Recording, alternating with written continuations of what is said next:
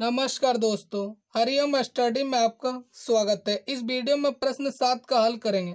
शांति sweet stall अपनी मिठाइयों को पैक करने के लिए गत्ते के डिब्बे बनवाने का ऑर्डर दे रहा था। दो मापों के डिब्बों की आवश्यकता थी। बड़े डिब्बों की माप इस प्रकार और छोटे डिब्बों की माप इस प्रकार थी। सभी प्रकार के अति व्यापकता के लिए कुल पृष्ठ क्षेत्रफल के पाँच प्रतिशत के बराबर अतिरिक्त गत्ता लगेगा। यदि गत्ते की लागत चार रुपया प्रति एक हज़ार सी स्क्वायर है तो प्रत्येक प्रकार के 250 डिब्बे बनवाने की कितनी लागत आएगी? देखिए, इस प्रश्न में कहता है, दो प्रकार का डब्बा बनाना है। देखिए, बड़े डब्बे की लंबाई पच्चीस सी चौड़ाई बीस सीएम और ऊंचाई पाँच सी है, और छोटे डब्बे की लंबाई पंद्रह सी चौड़ाई बारह और ऊंचाई पाँच है। तो देखिए, इस प्रकार का 250 डब्बे और इस प्रकार का 250 डब्बे बनवाने में कितनी लागत आएगी? तो देखिए, प्रश्न में कहता, अति व्यापकता के लिए कुल पृष्ठ क्षेत्रफल के पाँच प्रतिशत अतिरिक्त गत्ता लगेगा। यानी देखिए, डब्बा बनाएँगे तो इस प्रकार डब्बा बनाएँगे तो देखिए, पृष्ठ क्षेत्रफल इसका निकलेगा, ये अंदर देखिए, ये अतिरिक्त होगा, ठीक है, यानी इसका पृष्ठ क्षेत्रफल नहीं निकलेगा तो ये अतिरिक्त गत्ता लगेगा, ठीक है। तो देखिए, बड़े डिब्बे की लंबाई, पच्चीस सी चौड़ाई बीस और ऊंचाई है पाँच सी छोटे डिब्बे की लंबाई देखिए, पंद्रह, चौड़ाई बारह और ऊंचाई है पाँच सी ठीक है? तो देखिए, बड़े डिब्बे का, बड़े डिब्बे का पृष्ठ क्षेत्रफल पहले निकाल लेते हैं। तो देखिए 250 बड़े डिब्बे का कुल पृष्ठ क्षेत्रफल देखिए, ये कैसे है? यह डब्बा घनाभाकार है तो घनाभ का कुल पृष्ठ क्षेत्रफल ये होता है। यानी इस सूत्र से इस एक डब्बे का क्षेत्रफल निकल जाएगा। इसको 250 से गुना करेंगे तो 250 डब्बे का निकल जाएगा। ठीक है? यानी दो सौ पचास गुना दो। देखिए, ये तो देखिए, एक डब्बा का इतना दूर ये सूत्र हुआ, घनाभ का पृष्ठ क्षेत्रफल, या कुल पृष्ठ क्षेत्रफल भी बोल सकते हैं।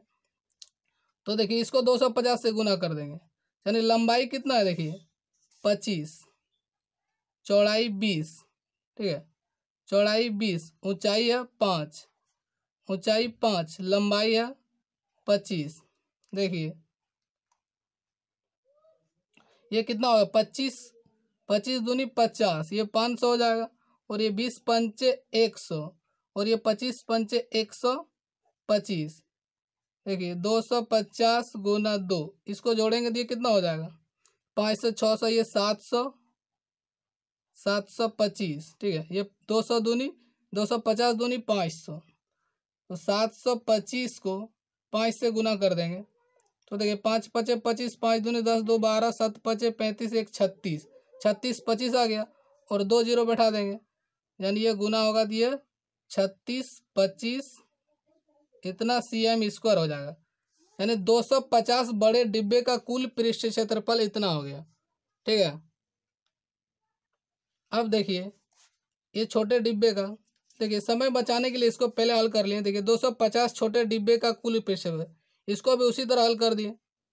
ठीक है तो हल करने पर इतना प्राप्त हो गया। ठीक है, अब देखिए, दोनों प्रकार के, यानी दो सौ पचास प्लस दो सौ पचास, यानी पाँच सौ डिब्बे का कुल पृष्ठ क्षेत्रफल इतना हो जाएगा। यानी दोनों को जोड़ दिए, ये बड़े डिब्बे का, ये छोटे डिब्बे का तो ये पाँच लाख बीस हज़ार सी एम स्क्वायर आ गया।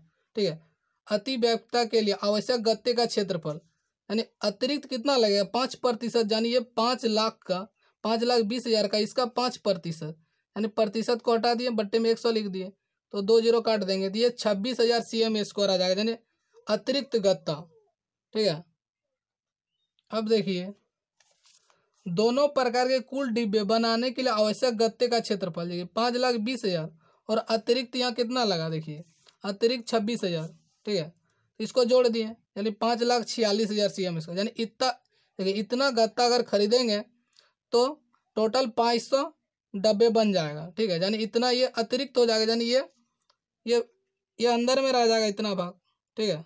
इस प्रकार तो इस प्रकार ये इतना हो जाता है, ठीक है? तो चूँकि एक हज़ार सी एम स्क्वायर गत्ते का लागत चार रुपया इसलिए एक सी एम स्क्वायर गत्ते का लागत इतना हो जाएगा।